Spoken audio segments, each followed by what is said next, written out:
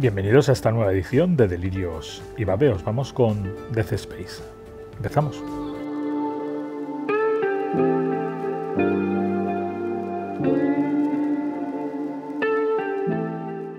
Y es que allá por un lejano 2008 apareció para la Xbox 360 y bueno, apareció para Play 3, apareció para PC, Death Space.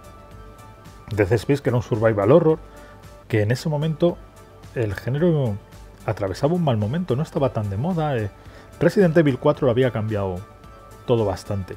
Y de golpe apareció este juego que retomaba un poco ese ese survival horror de, buscar resolver puzzles, estar en un entorno muy muy duro, eh, difícil, eh, teniendo que contar las balas. Bueno, mezclaba un poco lo que ya habíamos visto en Resident Evil 4 y que sería lo que dominaría el survival horror desde entonces y volvía al antiguo, ¿no? En un juego que quizás, quizás es el mejor casi de su generación. Gráficamente yo sigo sin entender cómo lograron que esto funcionase en una Xbox 360 o en una Play 3. El caso es que en este 2023 Electronic Arts sacó un estupendo remake al que voy a enseñaros un poquito porque aunque Videoclub de Cine es un canal de cine y ya sabéis, o sea, aquí hablamos más que nada de cine de terror en Fangofan, los Fango Direct, las crónicas de horror, el horror cabe un poco más, y en los delirios y babeos siempre son un poco reflexiones, ¿no? Siempre os lo digo que son un poco las reflexiones de lo que me sale del terror siempre. El caso es que vamos a ver un poquito este esta nueva versión de, de Death Space a la que estoy jugando y a la que me vais a ver que tampoco soy demasiado bueno. Vamos allá. Evidentemente una nota sobre la epilepsia, un aviso de contenido, ya sabéis. Death Space, este remake de, de la gente de, de Electronic Arts, que quizá era un remake que nadie se esperaba, pero que ha sorprendido a mí me ha sorprendido gratamente, no, no me esperaba una cosa así. Mm, me lo estoy pasando para cumplir, dijéramos, el, el expediente. Lo estoy pasando en fácil porque es verdad que es un juego que ya la, la, versión de, Xbox la, he jugado 3-4 veces. Entonces ahora lo estoy jugando en fácil solo para, para ver cómo va el juego. Alucinante, ¿no? Ya, le he puesto al bueno de Isaac eh, ya le he puesto al bueno de Isaac el traje clásico del primer juego, ¿no? Aunque aquí, por ejemplo, han cambiado bastante las, las armas. Es... Pero estoy muy alucinado. Aquí, de nuevo, las texturas es impresionante, pero aquí estoy muy alucinado en cómo funciona la luz en este juego. Ya era algo, eh, por ejemplo, que, que todo el, todo el juego no tuviera un display, que vieras la puntuación, tal, ¿no? Que, que todo apareciese en, en juego no todo lo que necesita Isaac para, para sobrevivir, ya me pareció algo muy, muy rompedor en, en 2008. Y aquí, por supuesto, lo, lo han, lo, han mantenido. Es alucinante, ¿no? Eh, con un rediseño del juego. Además, no es un, no es un remake 1-1. O sea, han hecho un poco lo que hicieron unos años atrás con Capcom con Resident Evil 2. Sí que más o menos. Yo los llamo remakes Remakes a la Noche de Miedo. ¿Vosotros habéis visto la película Noche de Miedo de 1985 y su remake de 2011? Dentro de esa oleada tan loca que hubo hace unos años de hacer remakes de cine de los 80, Noche de Miedo de 2011 es de los más potables, por no decir que sí, es de los más interesantes, junto con La Matanza de Texas, Viernes 13 y Las Colinas Tienen Ojos. Bueno, pues no tuvo tanto éxito y hay mucha gente que tiene muy mala opinión, pero es verdad que el remake de Noche de Miedo es bastante interesante con Colin Farrell, con Anton Jensen, Anton Yeltsin, eh, unos años antes de fallecer, un chico que prometía mucho. Bueno, pues eh, ya los remakes Resident Evil 2 o Death Space los llamo remakes Noche de Miedo 2011. Esos remakes son esa clase de remake que todo lo que espera, o sea, primero llama la atención porque no es un juego, o en este caso unas películas tan antiguas como para que necesiten remake, pero aún así los han hecho. Entonces, ¿cómo era la, la manera, no? De hecho, a nivel efectos visuales prácticos, Noche de Miedo del 85 está mejor hecha que Noche de Miedo 2011. O... Entonces, Resident Evil 2 o Death Space, la única manera de hacerlo será hacer lo que hicieron los cineastas con esa película, ¿no? Todo lo que tú esperas ver del juego está ahí. O sea, en Resident Evil 2 tú jugabas a Resident Evil 2 y todos los momentos que tú recordabas del Resident Evil 2 de 20 años atrás estaban en el juego. Pero no significaba que estuvieran en el mismo orden, de la misma manera o exactamente igual como tú los recordabas. Bueno, pues en Death Space Electronic Arts ha hecho, se ha marcado un Capcom. O sea, el juego mantiene el espíritu de...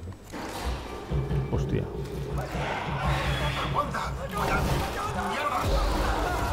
Hostia, mantiene... Pero no...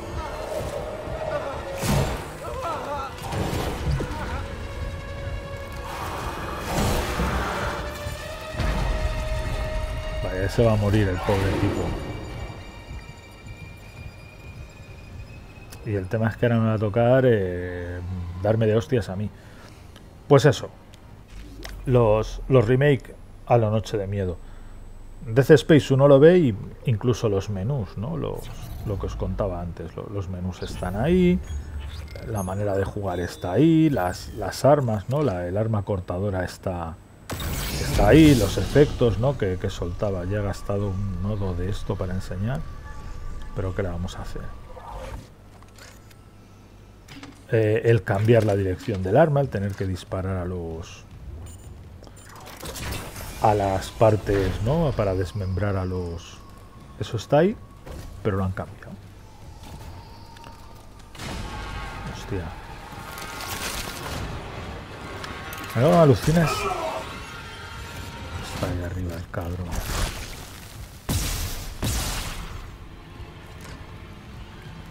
Está ahí arriba.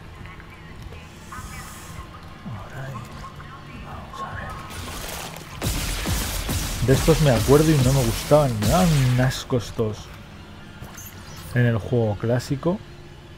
Me daban. me los odiaba. Y bueno, aún estoy lejos, pero luego va a venir la misión esa de los de los asteroides que me mataban mil veces y me sacaba de quicio este juego.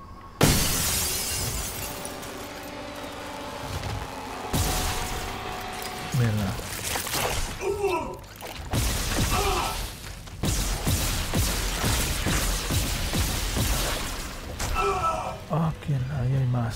De la gran puta de esos.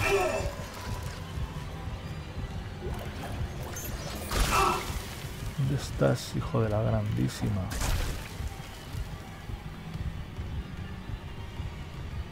Yo soy muy torpe jugando estos juegos, ¿eh?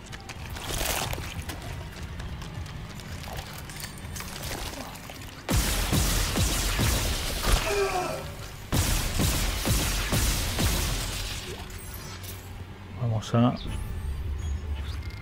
coger un poquito de vida. Que aquí para ser nivel fácil, estoy alucinando. Porque yo, por ejemplo, recuerdo que en el Death Space 2008, o yo me he hecho mayor y más torpe, que todo pueda ser. O yo recuerdo que encontrabas más vida eh, más vida mediana o grande. Y aquí solo me salen, cada vez que mato a los... A estos cabrones, solo me salen eh, enemigos... O sea, estas de vida de mierda. Pero sin embargo no hay tanto problema de munición. Al menos la sensación que me está dando a mí, ¿no? Que no tengo tanta... Aunque bueno, ahora sí que estoy jodido de munición, ¿eh? A ver si me abro la boca y ahora sí me veo fastidiado de munición. Nada, a ver. Pues eso. Lo estoy haciendo poquito a poco. El juego. Y me tiene bastante. Bastante sorprendido. Me tiene. Sí. Daniel no responde a su enlace de RI. ¿Cómo vas tú? He encontrado un detonador que puedo usar con la barricada. Voy para allá. Cuidado con la tensión del detonador. No perderé a nadie más. Vamos a ver para dónde tengo que ir. Para allá.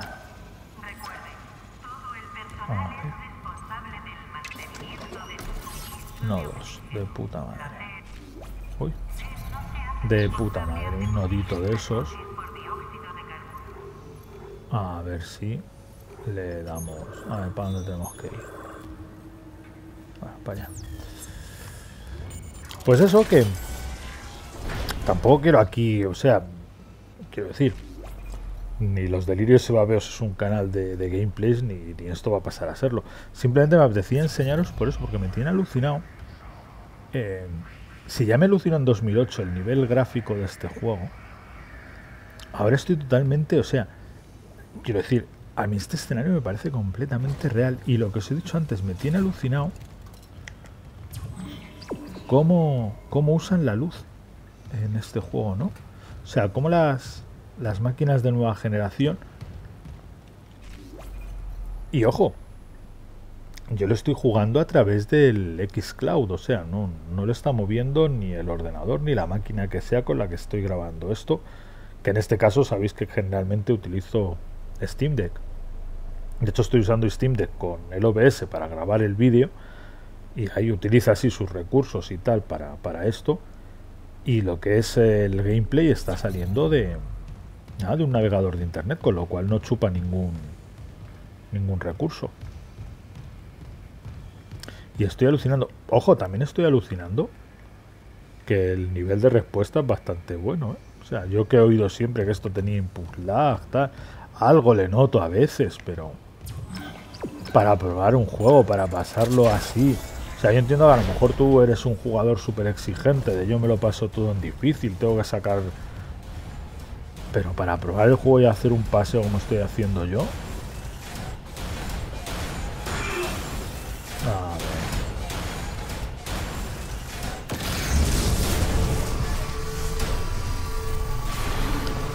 Puta que les parió, colega, este juego... ¿Verdad? a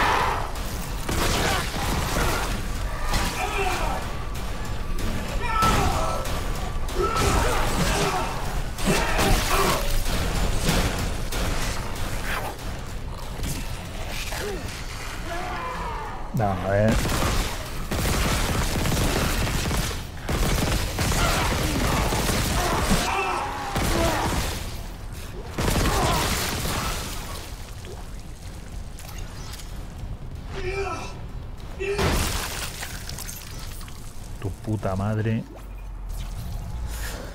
Pues eso, que aún estando en nivel fácil... Y claro, sin estar yo... Mira, una vida media sin estar yo estando en nivel fácil y tal, pues aún así este se pone difícil el cabrón del juego, ¿eh? No, no creáis. Pues eso, era lo más que quería enseñar. Voy a ver si llego un siguiente puntito de, salvado. Porque luego si me apetece jugarlo ya más concentrado, más, más explorando, ¿no? Ahora... Entonces eso, me resulta llamativo que un juego de hace tantos años, como es Death Space, que la realidad es que este juego apareció por primera vez en 2008. O sea, es que han pasado 15 años, ¿no? Ya es un juego no de la generación pasada, sino de hace dos generaciones, ¿no? Es... O sea, quiero decir, es como estar alucinado aún en, en la época de PlayStation con un juego de, de NES de Master System, ¿no? O sea, esa es un poco la analogía. O en época de 360 todavía estar alucinado con un juego de Play 1, ¿no? Pues Death Space, que no se nos olvide que no ha pasado una generación, sino dos desde que salió. Entonces este remake, que visualmente es impresionante y que... Pero a mí sobre todo es el, el ambiente de terror, ese terror tan Lovecraftiano, terror cósmico, ¿era terror Lovecraftiano esto? No lo sé, tenía elementos. Terror espacial, eh, Sí, las criaturas estas sí, sí que tenía cierto toque. O sea, Lovecraft nunca mandó a sus personajes al espacio, pero sí los mandaba al Polo Norte o, o a una isla perdida por ahí. Sí que se enfrentaban a esta clase de... Ojo, Lovecraft, que era un señor que en sus textos se desprenden cosas súper racistas, ¿no? Porque generalmente los malos, ¿no? Que eran como zombies, generalmente eran personas de, de raza negra, o como no peor, él los llamaba mestizos. O sea, Lovecraft tenía cierta cierta fijación con las personas mestizas, que las llamaba feas y sucias, ¿no? O sea, cuidado, que Lovecraft mola mucho, pero el tipo debía ser un personaje de cuidado. Pues esta, este juego mola el, ese ambiente, ¿no? También, bueno, si sois fans, y yo creo que aquí todos somos fans desde aquella película, ¿no? De, Destino Final. También recuerda ese ambiente, ¿no? Un poco Destino Final, ¿no? Que tenía este este juego, ¿no? Era, era capaz de hacer... A ver si tenemos algo de mejora. Yo no, no tenemos... Ah, no, bueno. He encontrado esto. Quieras que no. Ahora. Carga explosiva. A ver para dónde tenemos que irnos. Espérate. Vamos a ver aquí si tenemos algo para comprar en el almacén o algo. Es que yo creo que mejoras aún no tengo ninguna. Carga de estabilización. Pero es que tengo 5.000 créditos. Aún no quiero liarme a comprar todas estas cosas, ¿sabes? O sea, a lo mejor sí que mm, si me meto en mucho follón, a lo mejor sí tengo que comprar eh, vida, pero... Pero luego cuando juegue más concentrado espero. Espero que no. A ver.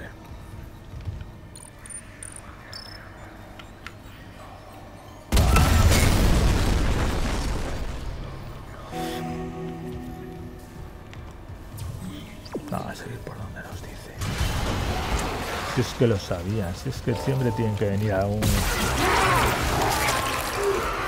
Siempre tienen que venir a un tarao. a pisarle por hijo de puta. Asco de ser, que, asco me dan. Pues eso. Death Space, una vuelta no al survival. Recuerda buscar el cuerpo del capitán Mazayas. Necesitamos los códigos de su DRI para el ordenador. Con mal chungo que daba la morgue. Claro, estás en un juego de estos, pues sabes que si llegas a la morgue te la van a liar. Que es que además luego estos juegos tienen eso que es necesita como, autorización de seguridad. Que es como, venga, ¿qué quieres? Eh, que me dé un patatús. Nada, nada. Pues eso, esa vuelta al, al survival más clásico que, dio este juego, ¿no? Y que luego tuvo una segunda, una tercera parte. Y, y eso era, era lo que quería hablar, ¿no? en enseñaros, pues eso, un survival horror clásico que a mí siempre ha sido uno de mis juegos favoritos. Pues eso, esa era la muestra de que quería contaros de, de, este Death Space Remake, ¿no? Que, le estamos dando caña eh, a través de, de, streaming, de este Xcloud, que es un sistema que... yo cuando probó el PS Now, este también, el sistema streaming de Play, tampoco he tenido grandes quejas, mayores quejas. Y este, pues, bueno, lo he pillado para, para pasarme este Death Space. Este otro juego que me ha encantado, este de este de, de la Lighters League, ¿no? que es como un juego de vista perspectiva isométrica y tal, y que se, recuerda a los Mario Rabbits, a los XCOM, aquellos, ¿no? que tienes que marcar por casillas para hacer ataques. Es un juego bastante chulo. Ya os lo enseñaré en otra de estas. Y luego, claro, el, todopoderoso y gigantesco Starfield, pero a ese, ese yo supongo que para, para cuando esté de vacaciones en verano. Por lo demás, esto ha sido todo, eh, lo que os digo siempre. Suscribíos, mm, activar campanita, dar like, dejar comentarios, seguirme en redes sociales que las dejaré por aquí. Lo dejaré por aquí en algún letrerito de aquí, lo dejaré todo. Y por lo demás, pues regaladme ese like que tanto sube nuestro ego. Nos vemos pronto. Esto, historia, recordad esto. Historia del terror de los años 2000. Muy pronto. Nos vemos. Adiós.